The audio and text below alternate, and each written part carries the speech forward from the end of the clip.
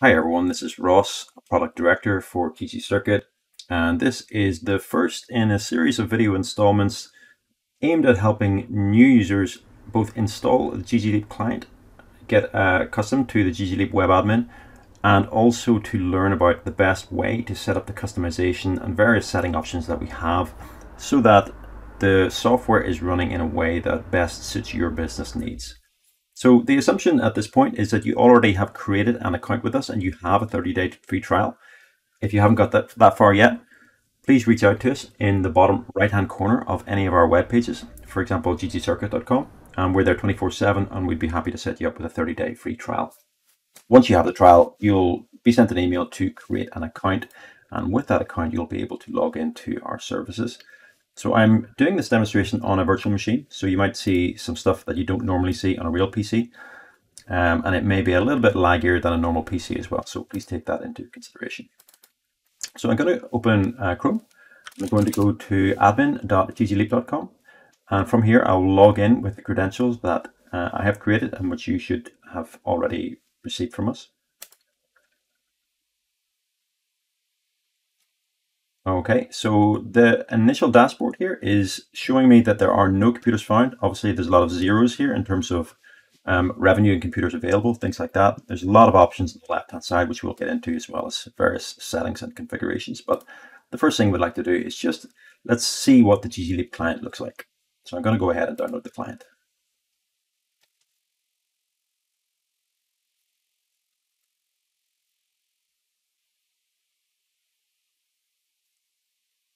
Okay, so the client installer has been downloaded. I'm going to go and install it.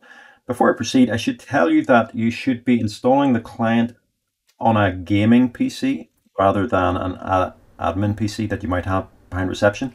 And the reason for that is that GGLeap will reboot the computer into a kiosk type setting, which means that it's, it's you can't get to Windows Desktop um, without performing some uh, administrative action. So it does lock down the PC um, you can't break it with uh, the credentials that you have, but you know it's best practice to actually file the software on an actual gaming PC that you intend to use in your business. So I'm going to go ahead and install.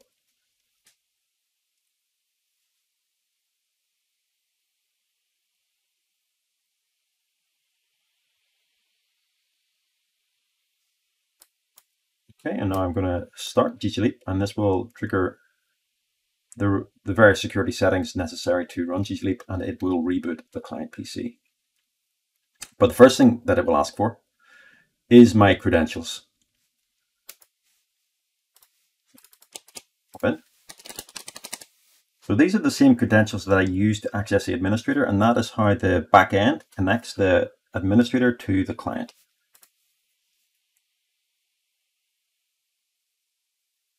And now the PC will run its first time installation.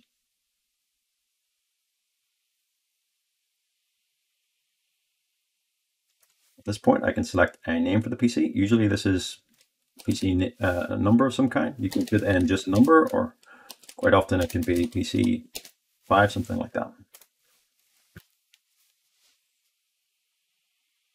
And now the PC will restart into kiosk mode.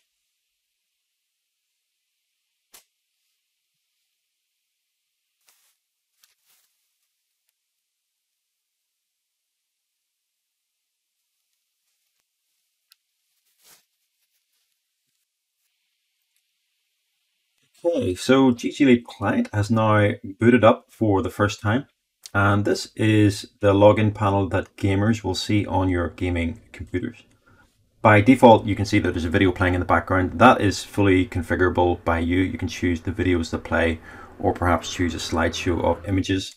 You'll also notice here that um, because I haven't used the keyboard or mouse in 30 seconds, the login panel actually disappears so that you can see the full screen and display whatever it is that you would like to display using the full desktop real estate.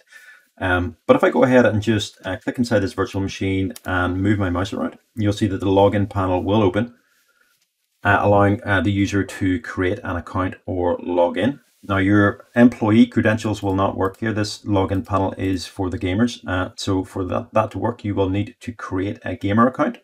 You can do that either on the client itself or you can do that within the web administrator. And we will cover settings like this in the next video.